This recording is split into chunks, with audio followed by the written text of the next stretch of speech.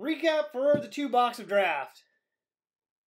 Mitchell, Hines, Workman, Cotton, Cotton, Miller, Infante, Phillips, Shortridge, Schuster, Bryce Bonnin, Alec Burleson, Drew Romo, David Calabrese, Zac Veen, and Justin Foscue. I think that's how you say it, huh? Justin Foscue?